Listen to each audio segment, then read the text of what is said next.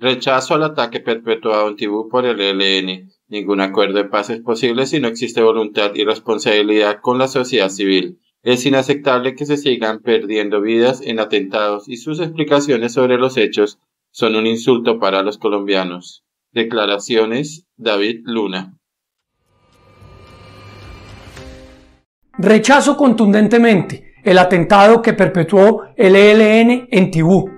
Murieron policías y murieron civiles. No hay derecho que sigan pensando que a través de esos mecanismos van a lograr la paz.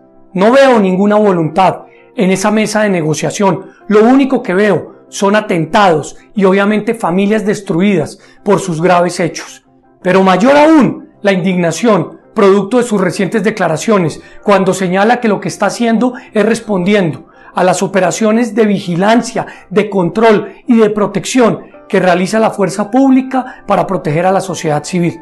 Señor ministro de Defensa, desamárrele de una vez por todas las piernas, las manos a nuestra fuerza pública para que pueda actuar, para que pueda defenderse y sobre todo para que pueda proteger a los ciudadanos indefensos.